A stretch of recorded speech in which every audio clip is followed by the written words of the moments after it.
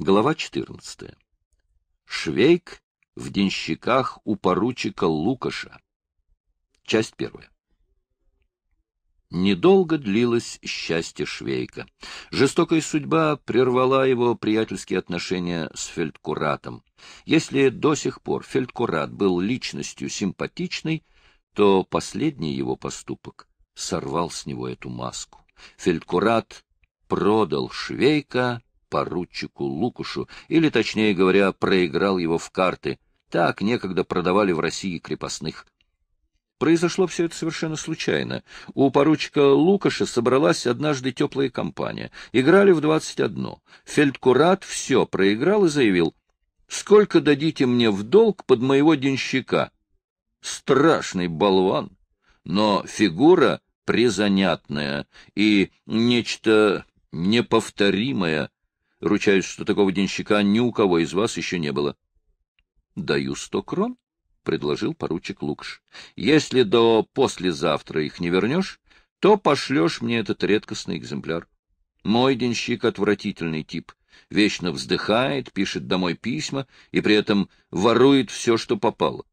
Бил я его, не действует. Каждый раз при встрече получает от меня подзатыльники, но и это не помогает. Я вышиб ему два передних зуба, и это его не исправило. — Идет, — легкомысленно согласился Фельдкурат. — Послезавтра получишь или сто крон, или швейка. Он проиграл и эти сто крон, и опечаленный побрел домой. Отто Кац прекрасно знал и нисколько не сомневался, что до послезавтра денег ему нигде не раздобыть, и что, собственно говоря, он гнусно и вместе с тем дешево продал швейка. Нужно было взять двести крон. — упрекал он себя.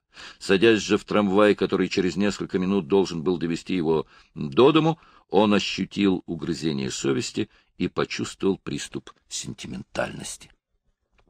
«Это некрасиво с моей стороны», — думал он, звоня к себе в квартиру. «Как я теперь посмотрю в его глупые, добрые глаза?» «Милый Швейк», — сказал он, входя в комнату. — Со мной нынче произошел необыкновенный случай. Мне чертовски не везло в игре. Понимаете, пошел в банк На руках у меня туз, прикупаю десятку. У банкомета на руках был всего валет, и все-таки он тоже набрал до двадцати одного. Ну, потом я несколько раз ставил на туза или на десятку, и каждый раз у банкомета было столько же.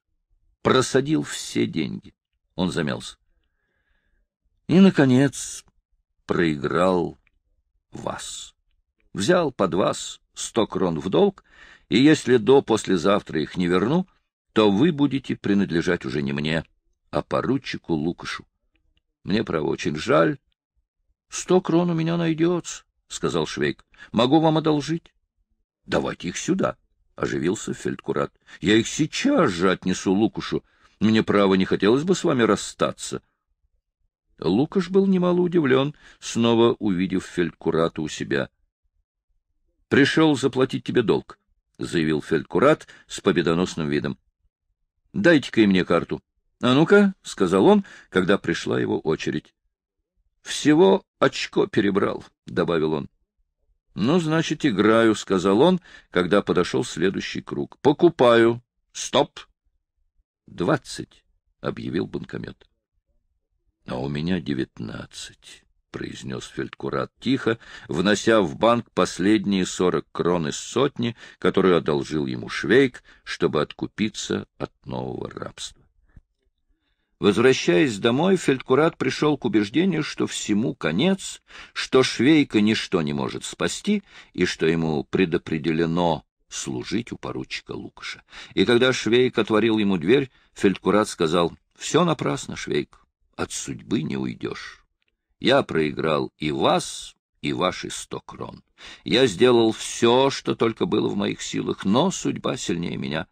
Она бросила вас в когти поручика Лукаша. Пришла пора нам расстаться. — А что, сорвали банк у вас, или же вы на понте продули? — спокойно спросил Швейк.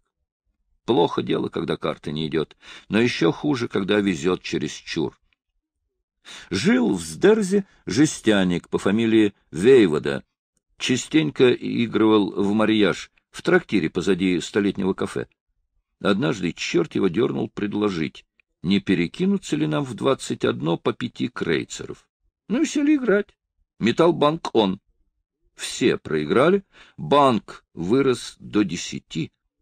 Старик Вейвода хотел и другим дать разок выиграть, и все время приговаривал, ну-ка, маленькая, плохонькая, сюда. Вы не можете себе представить, как ему не везло. Маленькая, плохонькая, не шла, да и только. Банк рос, собралась там уже сотня. Из игроков ни у кого столько не было, чтобы идти в банк а Вейвода даже весь вспотел.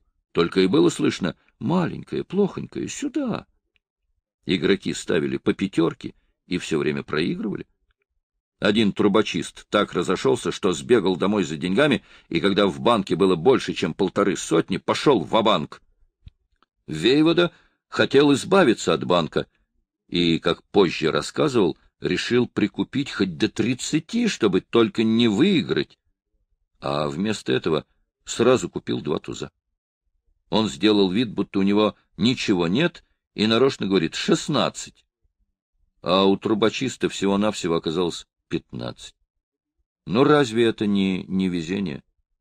Несчастный старик Вейвода побледнел, вид у него был жалкий, а вокруг уже стали поругиваться и перешептываться, что, дескать, передергивает, и что его как-то раз уже били за нечистую игру, хотя на самом деле это был самый честный игрок.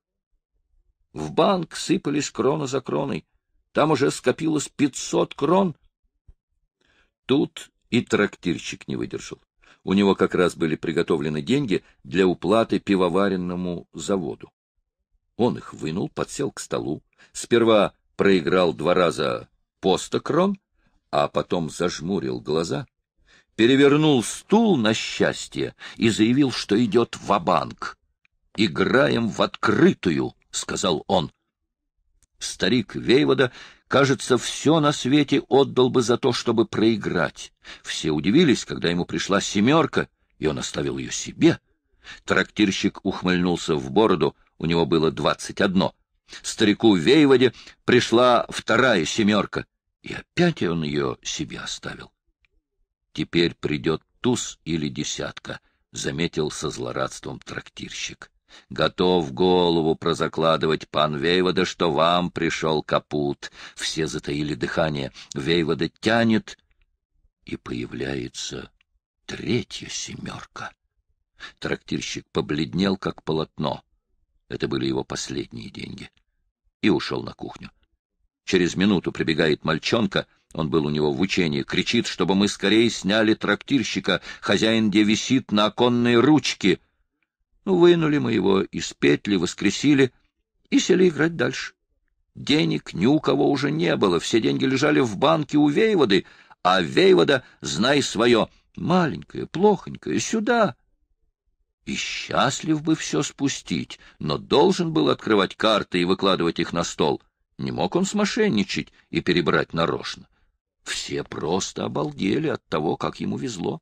Уговорились, если не хватит наличных, играть под расписки. Игра продолжалась несколько часов, и перед старым Вейводой росли тысячи за тысячами. Трубочист был должен в банк уже больше полутора миллионов, угольщик из Сдерена около миллиона, швейцар из столетнего кафе — восемьсот тысяч крон, а фельдшер — больше двух миллионов. В одной только тарелке, куда откладывали часть выигрыша для трактирщика, на клочках бумаги было более трехсот тысяч. Старик Вейвода пускался на всякие штуки, то и дело бегал в уборную, и каждый раз давал за себя метать кому-нибудь другому, а возвращался, ему сообщали, что выиграл он и что ему пришло двадцать одно. Послали за новой колодой, но и это не помогло. Когда Вейвода останавливался на пятнадцати, у партнера было четырнадцать. Все злобно глядели на старого Вейводу, а больше всех ругался мастильщик, который всего-то навсего выложил наличными восемь крон. Этот откровенно заявил, что человеку вроде Вейводы не место на белом свете, и что такому нужно нападать коленкой, выкинуть и утопить, как щенка. Вы не можете себе представить отчаяние старика Вейводы. Наконец ему в голову пришла идея. — Мне нужно в отхожее место, — сказал он трубочисту. — Сыграйте-ка за меня. И так, без шапки, выбежал прямо на Мысликовую улицу за полицией, нашел патруль и сообщил, что в таком-то и таком-то трактире играют в азартные игры. Полицейские велели ему вернуться в трактир и сказали, что придут за ним следом. Когда Вейвода вернулся, ему объявили, что за это время фельдшер проиграл свыше двух миллионов, а швейцар свыше трех, а в тарелку для трактирщика положили расписку на пятьсот тысяч. Скоро ворвались полицейские, мастильщик крикнул «Спасайся, кто может!», но было уже поздно, на банк наложили арест и всех повели в полицию. Сдеросский угольщик оказал сопротивление, и его увезли в корзине. В банке было больше, чем на полмиллиарда долговых расписок и полторы тысячи крон наличными. — Ничего подобного я до сих пор не видывал, — сказал полицейский инспектор, увидя такие головокружительные суммы. — Это почище, чем в Монте-Карло. Все, кроме старика Вейводы, остались в полицейском комиссариате до утра. Вейводу как доносчика отпустили и обещали ему, что он получит в качестве вознаграждения законную треть конфискованного банка свыше 160 миллионов крон. Старик от этого рехнулся и утром ходил по Праге и дюжинами заказывал себе несгораемые шкафы. Вот это называется «повезло в карты». Тут Швейк пошел варить грок, к ночи фельдкурат, которого Швейк с трудом отправил в постель, прослезился и завопил. — Продал я тебя, дружище! — схлипывал он. — Позорно продал. Прокляни меня, ударь, стою того. Отдал я тебя на растерзание. В глаза тебе не смею взглянуть. Бей меня, кусай, уничтожь. Лучшего я не заслужил. Знаешь, кто я? — и, уткнув заплаканную физиономию в подушку, он тихим, нежным голосом протянул «Я последний подлец!» и уснул, словно ко дну пошел. На другой день фельдкурат не смел поднять глаз на Швейка, рано ушел из дому и вернулся только к ночи вместе с толстым пехотинцем. — Швейк, — сказал он по-прежнему, не глядя на Швейка, — покажите ему, где что лежит, чтобы он был в курсе дела, и научите его варить горох. Утром вы явитесь к поручику Лукшу. Швейк со своим преемником приятно провел ночь за приготовлением грога. К утру толстый пехотинец еле держался на ногах и бурчал себе под нос невероятную смесь из разных народных песен. «Около Ходова течет водичка, наливает нам моя милая красное пиво, Гора-гора высокая, шли девушки по дорожке, на Белой горе мужичок пашет. — Ну, за тебя я не боюсь, — сказал Швейк. — С такими способностями ты у фельдкурата удержишься. Итак, первое, что увидел в это утро поручик Лукаш, была честная, открытая физиономия бравого солдата Швейка, который отрапортовал. «Честь имею должить, господин обер-лейтенант. Я тот самый Швейк, которого господин Фельдкурат проиграл в карты. Часть вторая. Институт денщиков очень древнего происхождения. Говорят, еще у Александра Македонского был денщик. Во всяком случае, не подлежит сомнению, что в эпоху феодализма в этой роли выступали оруженосцы рыцарей. Ну, кем, скажем, был Санчо Панса у Дон Кихота? Удивительно, что история денщиков до сих пор никем не написана. А то мы прочли бы там, как альмавирский герцог во время осады Толедо с голода съел без соли своего денщика. Об этом герцог сам пишет в своих воспоминаниях и сообщает, что мясо его слуги было нежным, мягким и сочным, и по вкусу напоминало нечто среднее между курятиной и ослятиной. В одной старой швабской книге о военном искусстве мы находим, между прочим, наставление денщикам. В старину денщик должен был быть благочестивым, добродетельным, правдивым, скромным, доблестным, отважным, честным, трудолюбивым, словом, идеалом человека. Наша эпоха многое изменила в характере этого типа. Современный денщик обыкновенно неблагочестив, не добродетелен, неправдив. Он врет, обманывает своего господина и очень часто обращает жизнь своего начальника в настоящий ад. Это льстивый раб, придумывающий самые коварные трюки, чтобы отравить жизнь своему хозяину. Среди нового поколения денщиков уже не найдется самоотверженных существ, вроде благородного Фернандо, денщика альмавирского герцога, которые позволили бы своим господам съесть себя без соли. С другой стороны, мы видим, что в борьбе за свой авторитет, в борьбе не на жизнь, а на смерть со своими денщиками, начальники прибегают к самым решительным мерам. Иногда дело доходит до настоящего террора. Так, в 1912 году в Граце происходил процесс, на котором выдающуюся роль играл некий капитан, избивший своего денщика до смерти. Тогда капитан был оправдан, потому что проделал этот эксперимент всего лишь во второй раз.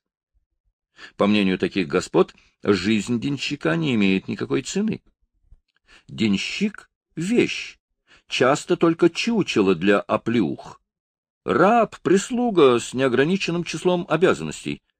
Неудивительно, если такое положение принуждает раба быть изворотливым и льстивым. Его муки на нашей планете можно сравнить только со страданием слуг, мальчишек в ресторанах в старое время. У них чувство порядочности развивали подзатыльниками и колотушками. Бывают, впрочем, и такие случаи, когда денщик возвышается до положения любимчика у своего офицера и становится грозой роты и даже батальона. Все унтеры стараются его подкупить, от него зависит отпуск, он может походатайствовать, чтобы при рапорте все шло хорошо.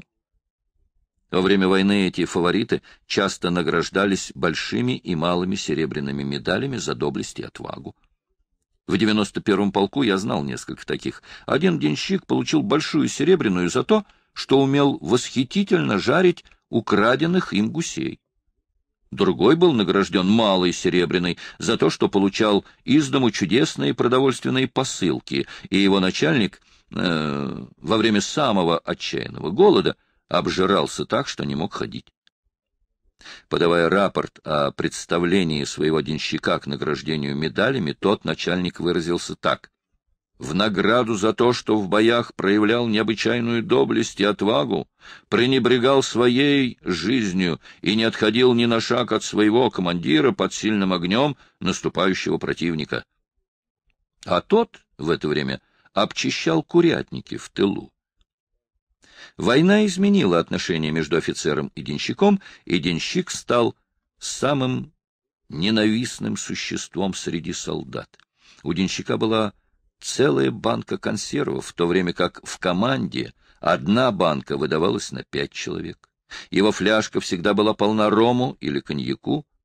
Целый день эта тварь жевала шоколад, жрала сладкие офицерские сухари, курила сигареты своего начальника, стряпала и жарила целыми часами и носила гимнастерку, сшитую лично ей по мерке.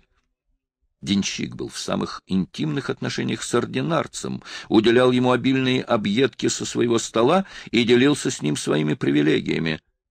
К триумвирату присоединялся обыкновенный старший писарь. Эта тройка, живя в непосредственной близости от командира, знала о всех операциях и стратегических планах. Отделение, начальник которого дружил с денщиком командира роты, было лучше других информировано обо всем. Если денщик говорил «в два часа тридцать пять минут улепетнем», то действительно ровно в два часа тридцать пять минут австрийские солдаты начинали отходить от неприятеля. Денщик находился в самых интимных отношениях с полевой кухней и с удовольствием околачивался у котла, заказывая себе разные блюда, словно он сидел в ресторане и держал в руках меню. — Я люблю грудинку, — говорил он повару, — а вчера ты дал мне хвост. Да положи-ка мне в суп кусок печенки. Знаешь ведь, что я селезенку не жру. Денщик был большим мастером создавать панику. Во время бомбардировки окопов душа у него уходила в пятки. В таких случаях он оказывался вместе со своим и офицерским багажом в самом безопасном блиндаже и прятал голову под одеяло, чтобы его не нашла артиллерийская граната. В эти минуты он желал только одного, чтобы его командир был ранен, и он вместе с ним попал бы в тыл как можно подальше. Своими секретами он увеличивал панику. «Кажется, уже собирают телефон», — сообщал он конфиденциально по отделениям и был счастлив, если мог потом сказать уже собрали. Никто не отступал с таким удовольствием, как он. В эти минуты он забывал, что над его головой свистят снаряды и шрапнель. Не чувствуя усталости, он пробирался с багажом к штабу, где стоял обоз. Большую симпатию он испытывал к австрийскому обозу и с огромным удовольствием с ним ездил. На худой конец он удовлетворялся и санитарными двуколками, если же ему приходилось идти пешком, он производил впечатление человека, совершенно изничтоженного. В таких случаях он бросал багаж своего офицера в окопах и волок только свое собственное имущество. Если случалось, что офицер, чтобы не попасть в плен, спасался бегством, а денщик попадал в плен, то последний никогда не забывал захватить с собой и офицерские вещи, которые отныне становились его собственностью и которые он берег, как зеницу ока. Я знал одного пленного денщика, который вместе с другими прошел пешком от Дубна до самой Дарницы под Киевом. Кроме своего походного мешка и мешка офицера, избежавшего плена, он тащил еще пять различных ручных чемоданов, да два одеяла и подушку, не считая узла, который он нес на голове. Он жаловался мне, что два чемодана у него отняли казаки. Мне не забыть этого человека, который так маялся со своим багажом по всей Украине. Это была живая экспедиторская подвода. Я до сих пор никак не могу понять, как смог он все это унести, тащить несколько сот километров на себе, потом доехать с этим до самого Ташкента, зорко охранять каждую вещь и умереть на своих чемоданах от сыпного тифа в лагере для военнопленных. В настоящее время денщики рассеяны по всей нашей республике и рассказывают о своих геройских подвигах. Они где штурмовали Соколь, Дубна, Ниш, Пиаву. Каждый из них — Наполеон. Вот я и говорю нашему полковнику, пусть, мол, позвонит в штаб, что можно начинать. В большинстве случаев денщики были реакционерами, и солдаты их ненавидели. Некоторые из денщиков были доносчиками и с особым удовольствием смотрели, когда солдата связывали. Они развились в особую касту. Их эгоизм не знал границ. Часть третья. Поручик Лукаш был типичным кадровым офицером, сильно обветшавшей австрийской монархии. Кадетский корпус выработал из него хамелеона. В обществе он говорил по-немецки, писал по-немецки, но читал чешские книги, а когда преподавал в школе для вольно определяющихся, состоящей сплошь из чехов, то говорил им конфиденциально «Останемся чехами, но никто не должен об этом знать. Я тоже чех». Он считал чешский народ своего рода тайной организацией, от которой лучше всего держаться подальше. Но в остальном он был человек славный, не боялся начальства и на маневрах, как это и полагается, заботился о своей роте, поудобнее расквартировывал ее по сараям и часто из своего скромного жалования выставлял солдатам бочку пива. Лукаш любил, когда солдаты на марше пели песни. Они должны были петь, идя на учения и с учения. Шагая рядом со своей ротой, он подтягивал. А как ноченька пришла — овес вылез из мешка. Тум-тария-бум! Он пользовался расположением солдат, так как был на редкость справедлив и не имел обыкновения придираться. Унтеры дрожали перед ним, из самого свирепого фельдфебеля он в течение месяца делал агнца. Накричать он мог, но никогда не ругался. Выбирал слова и выражения. — Видите ли, голубчик, право же, мне не хотелось бы вас наказывать, но ничего не могу поделать, потому что от дисциплины зависит боеспособность армии. Армия без дисциплины — трость ветром колеблемая. Если ваш мундир не в порядке, а пуговицы плохо пришиты или их не хватает, то это значит, что вы забываете свои обязанности по отношению к армии. Может быть, вам кажется непонятным, почему вас сажают за то, что вчера при осмотре у вас не хватало пуговицы на гимнастерке, за такую мелочь, за такой пустяк, на который, не будь вы на военной службе, никто бы и внимания не обратил. Но на военной службе подобная небрежность по отношению к своей внешности влечет за собой взыскание. А почему? Дело не в том, что у вас не хватает пуговицы, а в том, чтобы приучить вас к порядку. Сегодня вы не пришьете пуговицу, и, значит, начнете лодорничать. Завтра вам уже покажется трудным разобрать и вычистить винтовку. Послезавтра вы забудете в каком-нибудь трактире свой штык и, наконец, заснете на посту. И все из-за того, что с той несчастной пуговицы вы начали вести жизнь лодыря. Вот так-то, голубчик. Я наказываю вас для того, чтобы уберечь от наказания более тяжелого за те провинности, которые вы могли бы совершить в будущем, медленно, но верно забывая свои обязанности.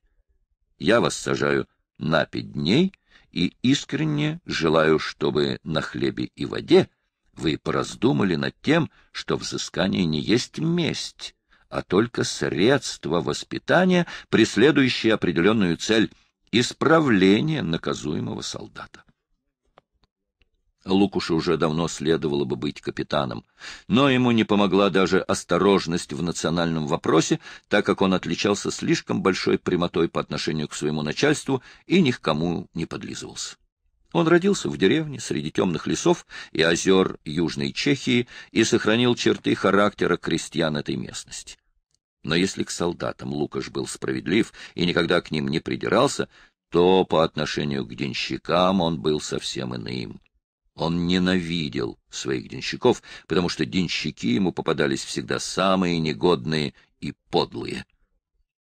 Он не считал их за солдат, бил по морде, давал подзатыльники, пытался воспитывать их и словом, и делом. Он безрезультатно боролся с ними много лет, то и дело менял их и всегда приходил к заключению. Опять попалась подлая скотина.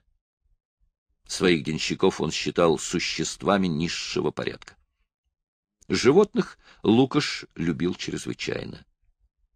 У него была гардская канарейка, ангорская кошка и пинчер. Денщики, которых он часто менял, обращались с этими животными не лучше, чем поручик с ними самими, когда они учиняли ему какую-нибудь пакость. Они морили голодом канарейку. Один из денщиков выбил ангорской кошке глаз. Пинчера стегали, как только он попадался под руку.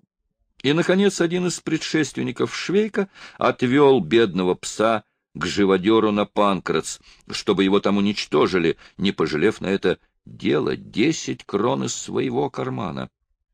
А поручику он доложил, что пес сбежал на прогулке. На следующий день этот денщик уже маршировал с ротой на плацу. Когда Швейк явился к Лукашу и заявил, что приступает к своим обязанностям, поручик привел его к себе в комнату и сказал, — Вас рекомендовал мне господин фельдкурат Кац. Надеюсь, вы не осрамите его рекомендацию. У меня была уже дюжина денщиков, и ни один из них не удержался. Предупреждаю, я строг, и беспощадно наказываю за каждую подлость и ложь. Я требую, чтобы вы всегда говорили только правду и беспрекословно исполняли все мои приказания. Если я скажу «прыгайте в огонь», то вы должны прыгнуть в огонь, даже если бы вам этого не хотелось. Куда вы смотрите? Швейк с интересом смотрел в сторону, на стену, где висела клетка с канарейкой. Услышав вопрос поручика, он устремил на него свои добрые глаза и ответил милым добродушным тоном. — Осмелюсь должить, господин обер-лейтенант. Это гардская канарейка. Прервав таким образом речь поручика, Швейк вытянулся во фронт и, не моргнув глазом, уставился на поручика. Поручик хотел было сказать «резкость», но, видя невинное выражение лица Швейка, произнес только Господин Фельдкурат аттестовал вас как редкого болвана. Думаю, он не ошибся.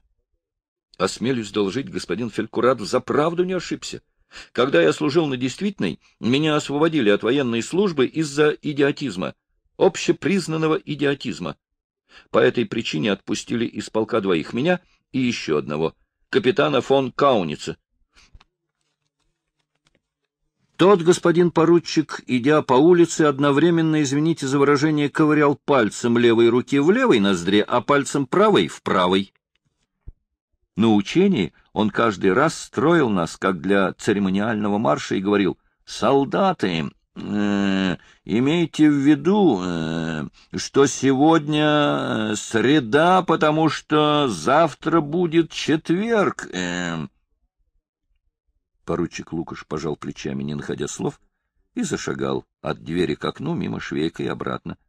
При этом Швейк делал равнение направо, и равнение налево, смотря по тому, где находился поручик, с таким невинным видом, что поручик потупил глаза и, глядя на ковер, сказал без всякой связи со швейковскими замечаниями о глупом капитане.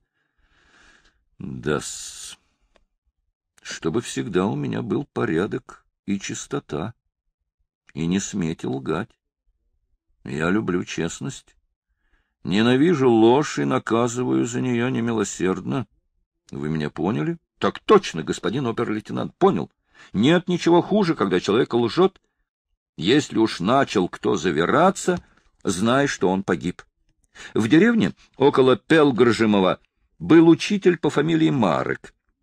Этот учитель бегал за дочерью лесника Шперы.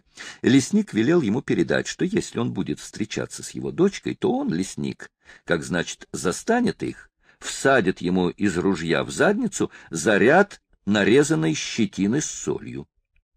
А учитель велел передать леснику, что все это враки. Но однажды, когда он поджидал свою барышню, лесник его застал и уже хотел было проделать с ним эту самую операцию, да учитель отговорился. Он, дескать, только цветочки собирает. В другой раз учитель сказал леснику, что ловит жуков для коллекции. Так он и врал, чем дальше, тем больше. Наконец, со страха он присягнул, что хотел только селки для зайцев расставить. Тут наш лесник его сгреб и доставил жандармам. А оттуда дело перешло в суд, и учитель чуть было не попал в тюрьму. А скажи он голую правду, получил бы порцию щетины с солью, всего-навсего. Я держусь того мнения, что лучше признаться — а если уж что натворил, прийти и сказать, дескать, осмелюсь доложить, натворил то-то и то-то. А если говорить насчет честности, то это, конечно, вещь прекрасная. С нею человек далеко пойдет, но все равно как при состязании в ходьбе. Как только начнешь мошенничать и бежать, так моментально сходишь с дистанции. Вот, к примеру, мой двоюродный брат, честный человек, Всюду его уважают, сам собой доволен и чувствует себя как новорожденный, когда, ложась спать, может сказать «Сегодня я опять был честным». В течение всей этой пространной речи поручик сидел в кресле и, уставившись на сапоги швейка, думал, «Боже мой, ведь я сам часто несу такую же дичь. Разница только в форме, в какой я это преподношу. Тем не менее, не желая ронять своего авторитета, он сказал, когда Швейк закончил. — Вы должны ходить в чищенных сапогах, держать мундир в порядке, чтобы все пуговицы были пришиты. Вы должны производить впечатление солдата, а не штатского босика. Это поразительно, до чего никто из вас не умеет держаться по-военному. Из всех моих денщиков только у одного был бравый вид, да и тот, в конце концов, украл у меня парадный мундир и продал его в еврейском квартале. Поручик умолк, но вскоре заговорил снова и перечислил Швейку все его обязанности, особенно напирая на то, что Швейк должен быть верным слугой и нигде не болтать о том, что делается дома. — У меня бывают дамы, — подчеркнул он. — Иногда дама остается ночевать, если мне не нужно на другой день идти на службу. В таких случаях вы будете приносить нам кофе в постель, но только когда я позвоню, поняли? Так точно понял, господин обер-лейтенант. Если я неожиданно влезу в комнату, то, возможно, иной даме это покажется неприятным. Я сам однажды привел к себе домой барышню, и мы с ней очень мило развлекались, когда моя служанка принесла нам кофе в постель. Служанка с перепугу обварила мне кофеем всю спину, да еще сказала с добрым утром. Нет, я прекрасно знаю, как вести себя, когда ночует дама. Отлично, Швейк. С дамами мы должны вести себя исключительно тактично, — сказал поручик, приходя в хорошее настроение, так как разговор коснулся предмета, заполнявшего все его свободное от казарм, плаца и карт время. Женщины были душой квартиры поручика. Они создавали ему домашний очаг. Их было несколько дюжин, и многие за время своего пребывания старались приукрасить квартиру всевозможными безделушками. Жена владельца кафе прожила у поручика целых две недели, пока за ней не приехал муж, и вышила поручику примиленькую дорожку на стол — на всем его белье монограммы, и, наверное, докончила бы коврик на стену, если бы ее муж не прекратил эту идиллию.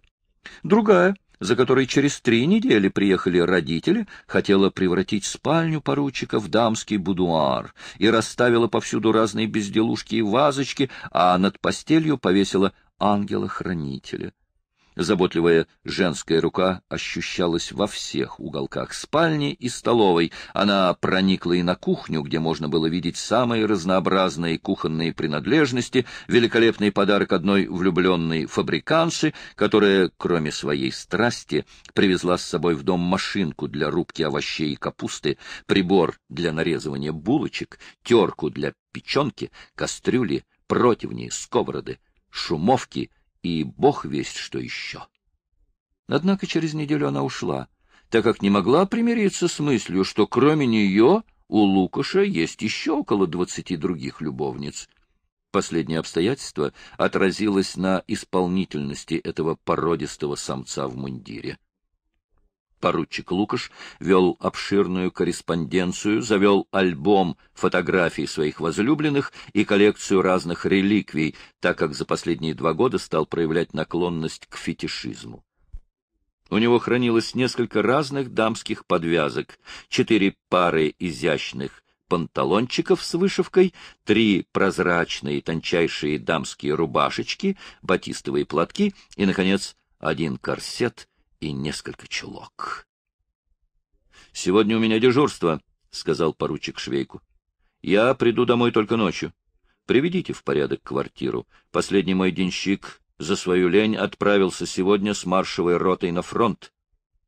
Отдав приказание, касающееся канарейки и ангорской кошки, он ушел, не приминув еще раз в дверях, проронить несколько слов о честности и порядке. После его ухода Швейк привел всю квартиру в самый строгий порядок, так что, когда поручик Лукаш возвратился ночью домой, Швейк с полным правом мог отрапортовать. Осмелюсь доложить, господин обер-лейтенант, все в порядке. Только вот кошка набезобразничала, сожрала вашу канарейку. — Как? — загремел поручик. — Осмелюсь доложить, господин обер-лейтенант, вот как. Я давно знал, что кошки не любят канареек и обижают их, вот я и решил познакомить их поближе, и в случае, если бы эта бестия попыталась выкинуть какую-нибудь э, штуку, оттрепать ее так, чтобы до самой смерти помнила, как нужно вести себя с канарейками. Я очень люблю животных. Наш шляпный мастер выучил-таки свою кошку. Сначала она сожрала у него трех канареек, а теперь уже ни одной больше не жрет, и канарейка может на нее хоть садиться. Но я тоже хотел попробовать, вытащил канарейку из клетки и дал ее кошке понюхать. А эта уродина, не успел я опомниться, откусила канарейке голову. Ей-богу, я не ожидал от нее такого хамства. Если бы это был, скажем, воробей, так я бы ничего не сказал. А то ведь замечательная канареечка, гардская. Да с какой еще жадностью жрала вместе с перьями и ворчала при этом от удовольствия. У них у кошек, как говорится, нет никакого музыкального образования. Они бестии не переваривают, когда поет канарейка, потому что в этом ничего не смыслят. Я кошку как следует выругал, но, боже меня упаси, пальцем ее не тронул, а ждал вас. как вы это дело решите, что с ней, с этой паршивой уродиной делать? Рассказывая об этом, Швейк так простодушно глядел поручику в глаза, что тот, подступив было к нему с определенным суровым намерением, отошел, сел в кресло и спросил. — Послушайте, Швейк, вы на самом деле такой олух царя небесного? — Так точно, господин обер-лейтенант, — торжественно ответил Швейк. — Мне с малых лет не везет. Я всегда хочу поправить дело, чтобы все вышло по-хорошему, и никогда ничего из этого не получается, кроме неприятностей и для меня, и для других. Я только хотел их обеих познакомить, чтобы привыкли друг к другу. Ну разве я виноват, что она сожрала канарейку? И все знакомство на этом оборвалось. Несколько лет назад в гостинице у Штупортов кошка сожрала даже попугая за то, что тот ее передразнивал и мяукал по-кошачьи. И живучи же эти кошки! Если прикажете, господин обер-лейтенант, чтобы я ее прикончил, так придется прихлопнуть ее дверью, иначе ничего не получится. И Швейк с самым невинным видом и милой добродушной улыбкой стал излагать поручику, каким способом казнят кошек. Его рассказ, наверное, довел бы до сумасшедшего дома все общество покровительства животным. Швейк проявил такие познания, что поручик Лукаш, забыв гнев, спросил его, — Вы умеете обращаться с животными? Любите их? — Больше всего я люблю собак, — сказал Швейк, — потому что это очень доходное дело для того, кто умеет ими торговать. Но у меня дело не пошло, так как я всегда был слишком честен, хотя все равно покупатели являлись ко мне с претензиями, дескать, почему я им продал дохлятину вместо здоровой породистой собаки. Как будто бы все собаки должны быть породистыми и здоровыми. Так нет же, каждому подавай родословную. Вот и приходилось печатать эти родословные, из какой-нибудь кошерской дворняжки, родившейся на кирпичном заводе, делать самого чистокровного дворянина из баварской псарни Армина фон Баргейма. Но покупатели оставались очень довольны, думая, что приобрели чистокровную собаку. Им можно было всучить фрошевицкого шпица вместо таксы, а они только удивлялись, почему у такого редкого пса из самой Германии шерсть мохнатая, а ноги не кривые. Так делается на всех крупных псарнях. Вам бы, господин обер-лейтенант, только поглядеть на все мошенничества, которые там проделываются с собачьими родословными. Псов, которые могли бы о себе сказать «я, дескать, чистокровная тварь», говоря по правде, мало. Либо мамаша его спуталась с каким-нибудь уродом, либо бабушка, или, наконец, папаш у него было несколько, и от каждого он что-нибудь унаследовал. От одного уши, от другого хвост, еще от одного шерсти на морде, а от третьего — морду, от четвертого — кривые ноги, а в пятого пошел ростом. Если же у него таких папаш было штук двенадцать, то можете себе представить, господин обер-лейтенант, как такой пес выглядит. Ну вот купил я однажды этакого кобеля. Звали его Балабан. Так он из-за своих папаш получился таким безобразным, что все собаки от него шарахались. Купил я его из жалости. Был он такой заброшенный и все время сидел у меня дома в углу, все грустил, так что я вынужден был продать его за пинчера. Больше всего пришлось поработать, когда я его перекрашивал под цвет перца с солью. Потом он со своим хозяином попал в Моравию, и с тех пор я его не видел. Поручика начал занимать этот доклад по собаковедению — и Швейк без помехи продолжал. Собаки не могут краситься сами, как дамы. Об этом приходится заботиться тому, кто хочет их продать. Если, к примеру, пес старый и седой, а вы хотите продать его за годовалого щенка или вы даете такого дедушку за девятимесячного, то лучше всего купите ляпису, разведите и выкрасьте пса в черный цвет. Будет выглядеть как новый. Чтобы прибавилось в нем силы, кормите его мышьяком в лошадиных дозах, а зубы вычистите наждачной бумагой, какой чистят ржавые ножи. А перед тем, как вести его продавать, влейте ему в глотку сливянку, чтобы пес был немного навеселе. Он у вас моментально станет бодрый, живой, будет весело лаять и ко всем лезть, как подвыпивший член городской управы. А главное вот что. С людьми, господин обер-лейтенант, нужно говорить и говорить до тех пор, пока покупатель совершенно не обалдеет. Если кто-нибудь хочет купить баллонку, а у вас дома ничего, кроме охотничьей собаки, нет, то вы должны суметь заговорить покупателя так, чтобы тот увел с собой вместо баллонки охотничью собаку.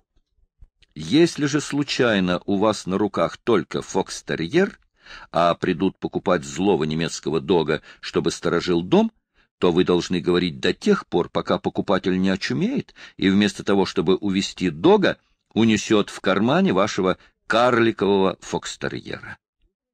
Когда я в свое время торговал животными, пришла ко мне одна дама. У нее, мол, попугай улетел в сад, а там, около виллы, в это время мальчики играли в индейцев. Они, мол, поймали попугая, вырвали у него из хвоста все перья и разукрасились ими, словно полицейские. Попугай со стыда, что остался бесхвостый, расхворался, а ветеринар его доконал порошками. Так вот, эта дама сказала, что хочет купить нового попугая, но воспитанного, а не грубияна, который только и умеет что ругаться. Что мне было делать, раз никакого попугая у меня дома не было, да и на примете не было ни одного? А был у меня только злющий бульдог, совершенно слепой так мне пришлось, господин обер-лейтенант, уговаривать эту даму с четырех часов дня до семи вечера, пока она не купила вместо попугая вот этого слепого бульдога. Это было почище любого дипломатического осложнения. Когда она уходила, я сказал ей, «Пусть теперь мальчишки только попробуют и ему вырвать хвост». И больше мне с этой дамой не довелось разговаривать. Из-за этого бульдога ей пришлось покинуть Прагу, так как он перекусал весь дом. Поверьте, господин обер-лейтенант, что достать хорошее животное очень, очень трудно. — Я сам люблю собак, — сказал поручик. — Кое-кто из моих друзей взял с собой на фронт собаку, Потом товарищи писали мне, что в обществе такого верного и преданного друга фронтовая служба протекает незаметно, вы, я вижу, хорошо знаете все породы собак, и надеюсь, что если бы у меня была собака, вы бы сумели за ней ухаживать. Какая порода, по-вашему, лучше всех? То есть я имею в виду собаку друга. Был у меня когда-то пинчер, но я не знаю, по-моему, господин обер-лейтенант, пинчер — очень милый пес. Не каждому, правда, пинчер нравится, потому что он щетинист и волосы на морде такие жесткие, что собака выглядит словно отпущенный каторжник. Пинчеры безобразные, любо посмотреть, а умные. Куда до них болванам Сен-Бернарам? Пинчеры умнее фокстерьеров. Знал я одного... Поручик Лукаш посмотрел на часы и прервал швейка. Уже поздно. Мне нужно выспаться. Завтра у меня опять дежурство, а вы можете посвятить весь день тому, чтобы подыскать какого-нибудь пинчера. Он пошел спать, а Швейк лег в кухне на диван и почитал еще газету, которую поручик принес из казарм. — Скажите, пожалуйста, — заметил про себя Швейк с интересом, следя за событиями дня. Султан наградил императора Вильгельма большой военной медалью а у меня до сих пор даже малой серебряной нет. Швейк задумался и вдруг вскочил. Чуть было не забыл. И пошел в комнату к поручику. Поручик крепко спал. Швейк разбудил его. — Осмелюсь доложить, господин обер-лейтенант, я не получил приказания насчет кошки. Поручик во сне перевернулся на другой бок, пробормотал «три дня ареста» и заснул опять. Швейк тихо вышел из комнаты, вытащил несчастную кошку из-под дивана и сказал ей «Три дня ареста». И ангорская кошка полезла обратно под диван. Часть четвертая. Швейк только было собрался отправиться на поиски какого-нибудь пинчера, как у двери позвонила молодая дама. Она заявила, что хочет поговорить с поручиком Лукашем. Около дамы стояли два больших чемодана, и Швейк успел заметить фуражку спускающегося по лестнице посыльного. — Нету дома, — твердо сказал Швейк, но молодая дама была уже в передней и категорическим тоном приказала Швейку — отнесите чемоданы в комнату. — Без разрешения господина поручика нельзя, — сказал Швейк. — Господин поручик приказал мне без него ничего не делать. — Вы с ума сошли? — вскричала молодая дама. — Я приехала к господину поручику в гости. — Об этом мне ничего не известно, — ответил Швейк. — Господин поручик на службе и вернется только ночью. А я получил приказание найти Пинчера. Ни о каких чемоданах и ни о каких дамах ничего не знаю. Я запираю квартиру и покорнейше прошу вас уйти. Мне не давали никаких распоряжений на этот счет, и я не могу чужую, неизвестную мне особу оставлять одну в квартире. На нашей улице у кондитера Бельчицкого оставили так вот постороннего человека в доме, а он вскрыл гардероб и удрал. Конечно, я этим не хочу о вас сказать ничего дурного, — продолжал Швейк, увидев, что дама делает отчаянное лицо и плачет. Но оставаться вам здесь решительно нельзя. Ну, согласитесь сами. Раз мне доверена квартира, то я отвечаю за каждую мелочь. Поэтому еще раз покорнейше прошу понапрасну себя не затруднять. Пока я не получил приказания от господина поручика, для меня родного брата не существует. Мне, право, очень жаль, что приходится с вами так разговаривать, но на военной службе прежде всего должен быть порядок. Молодая дама, между тем, немного пришла в себя, вынула из сумочки визитную карточку, написала карандашом несколько строк, вложила это в прелестный маленький конвертик и удрученно сказала, — Отнесите это господину поручику, а я подожду здесь ответа. Вот вам пять крон на дорогу. — Ничего не выйдет, — ответил Швейк, задетый навязчивостью нежданной гости. — Оставьте себе эти пять крон, вот они здесь, на стуле, а если хотите, пойдемте вместе к казармам. Подождите меня там, я передам ваше письмецо и принесу ответ. Но ждать здесь вам ни в коем случае нельзя. После этого он втащил чемоданы в переднюю и, гремя ключами, как дворцовый ключник, стоя в дверях, многозначительно сказал «Запираем». Молодая дама с беспомощным видом вышла на лестницу. Швейк запер дверь и пошел вперед. Посетительница семенила за ним, как собачонка, и догнала его только, когда он зашел в лавочку за сигаретами. Теперь она шла с ним рядом и пыталась завязать разговор. — А вы передадите, наверное? — Передам, раз обещал. — А вы найдете господина поручика? — Не знаю. Они молча шагали рядом, пока, наконец, спутница Швейка не заговорила опять. — Так вы думаете, что вы господина поручика не найдете? — Нет, не думаю. — А где он может быть, как вы думаете? — Не знаю. На этом разговор на долгое время прервался, пока молодая дама опять не возобновила его вопросом. — Вы не потеряли письмо? — Пока что нет. — Так вы, наверное, передадите его господину поручику? — Да. — А найдете вы поручика? — Я уже сказал, что не знаю, — ответил Швейк. — Удивляюсь, как люди могут быть такими любопытными и все время спрашивать об одном и том же.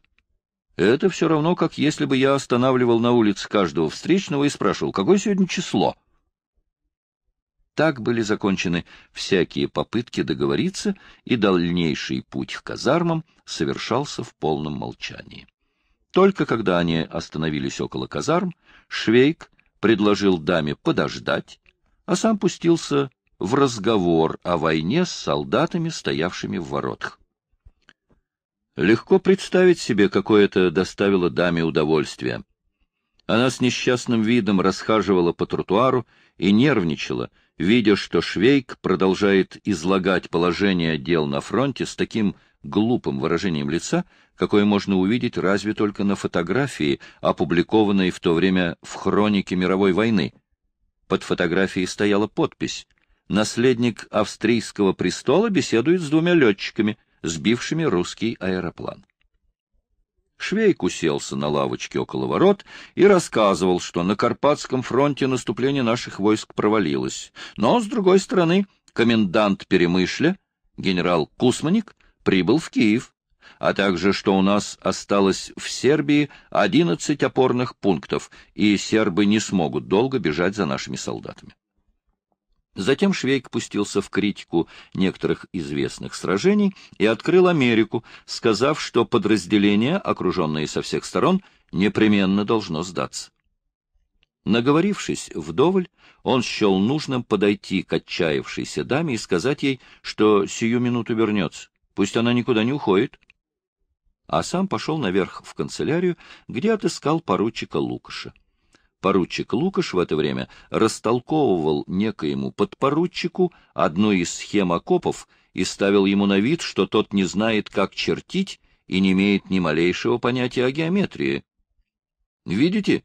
Вот как это нужно сделать. Если к данной прямой нам надо провести перпендикуляр, то мы должны начертить такую прямую, которая образует с первой прямой угол. Понимаете?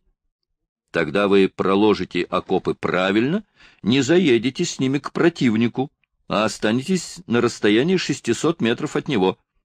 Но если следовать тому, как вы начертили, то нашими позициями мы заехали бы за линию противника и стали бы своими окопами перпендикулярно к неприятелю. А вам ведь нужен тупой угол.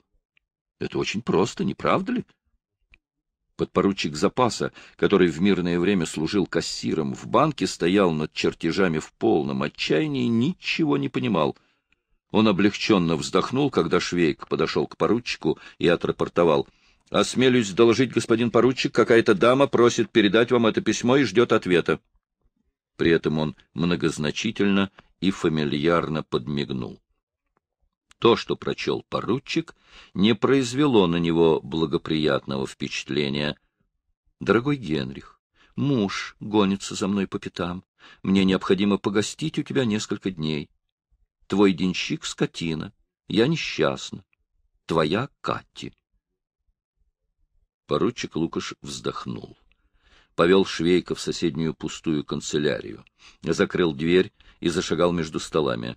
Наконец он остановился перед швейком. — Эта дама пишет, что вы скотина. Что вы ей сделали? — Осмелюсь доложить, я ничего ей не сделал, господин обер-лейтенант. Я вел себя как полагается. Но вот она хотела сейчас же расположиться в квартире. А раз я не получил от вас никаких указаний, то я ее там не оставил. Ко всему прочему, она приехала с двумя чемоданами, как к себе домой. — Поручик еще раз громко вздохнул. Швейк тоже вздохнул. — Что? — угрожающе крикнул поручик. — Осмелюсь доложить, господин обер-лейтенант, это тяжелый случай.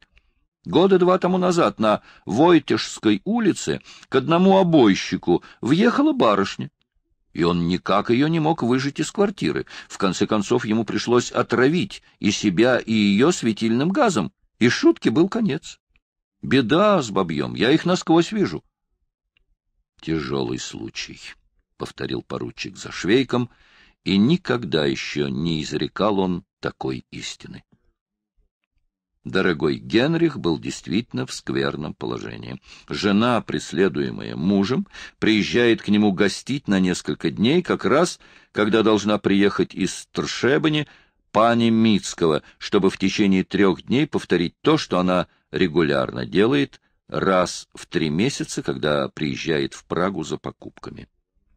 Кроме того, послезавтра должна прийти одна барышня. После целой недели размышлений она определенно обещала ему позволить соблазнить себя, так как все равно через месяц выходит замуж за инженера. Поручик сидел на столе, повесив голову, молчал и думал, но ничего другого не придумал, как сесть за стол, взять конверт и написать на служебном бланке. «Дорогая Катти, до девяти часов вечера я буду на службе. Приду в десять. Прошу, чувствуйте себя как дома.